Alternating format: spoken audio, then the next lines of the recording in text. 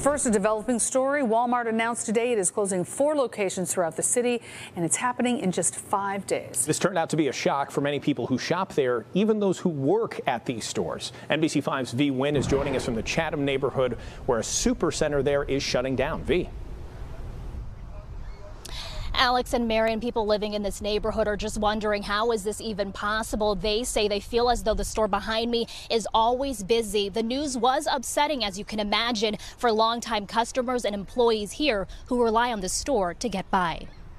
A sad day for many customers and employees at this Walmart Supercenter in Chatham after learning it is one of four locations set to close by Sunday. This is our closest Walmart in our area. This is the only like big shopping center that we have and for a lot of elderly people they rely on this Walmart. A lot of single mothers like me, we rely on this Walmart. Brianna Jackson is disappointed by this decision, calling the move selfish by the corporate giant. Walmart could have did better. Y'all didn't close one but four stores in majority urban neighborhoods. This location on 83rd Street opened as part of the city's and company's promise to invest hundreds of millions of dollars to underserved communities. Over the years, Walmart officials say the super Center and three other neighborhood markets, including Lakeview and Little Village, have struggled to perform. I was here when they first opened up the store, very excited and everything. I just can't believe it. I just came to the store and I see people crying. I'm like, what's going on? Walmart says it continues to operate at a loss despite making changes, upgrades, and even adding this Walmart Academy.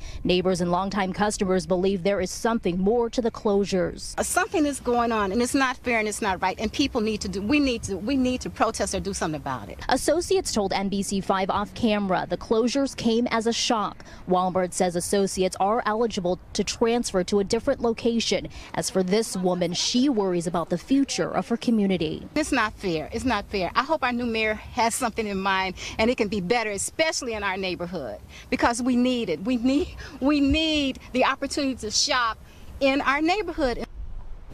Hmm. So we're learning the pharmacies will remain open for up to 30 days to continue to serve customers for that time being. Associates will also be paid until August 11th. That's unless they transfer to a different location. Coming up at 6, we'll have so much more reaction to this story. Reporting live in Chatham, Vi Nguyen NBC5 News. Big shock to that community. Thank you so much.